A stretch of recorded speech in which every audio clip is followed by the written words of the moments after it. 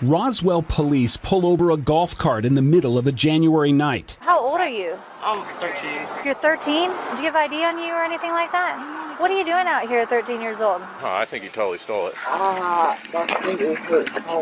You can see ice clinging to the boy's arms. Weather records show it was 17 degrees, headed down to a low of 12. Dang, it's cold. Officers warm up inside their heated cruisers. Oh, it's so cold. It's cold out there. It's chilly, chilly. Again, you're not under arrest. I'm just detaining you, okay? And at first, Officer Cheryl Dickerson puts the boy in her heated patrol car. I've got a 13 year old detained right now. I'm going to jail for nothing.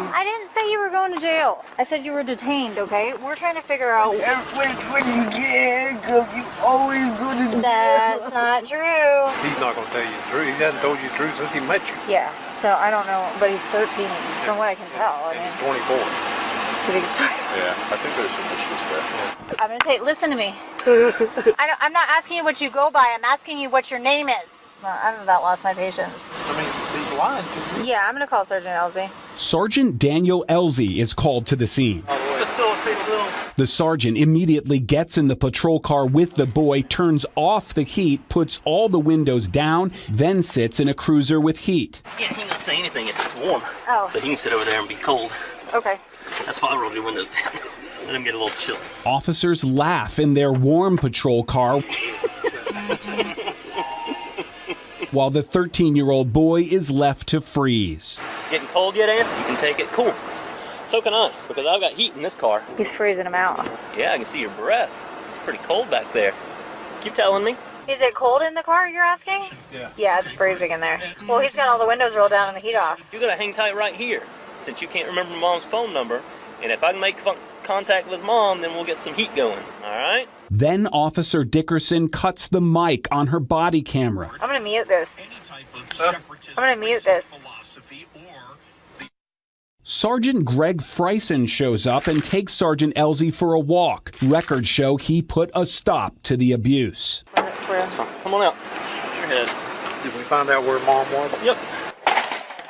This video was viewed more than a dozen times by Sergeant Elzy's supervisor. In the latest annual review, the lieutenant wrote Sergeant Elzy did make a poor decision regarding the safety of a suspect, a poor decision that was not in line with department values. But supervisors also wrote Sergeant Elzy sets a very positive example and gave him higher scores than the year before, much higher than Sergeant Freisen, who was credited with confronting him. Sergeant Elzy wasn't punished. He was rewarded with Supervisor of the Year. That's Police Chief Rusty Grant last April, who also signed off on the annual reviews in May. No internal affairs investigation of the January incident was launched until July, days after we demanded copies of this video under the Open Records Act. Chief Grant, when did you first learn about the intentional freezing of a 13 year old boy?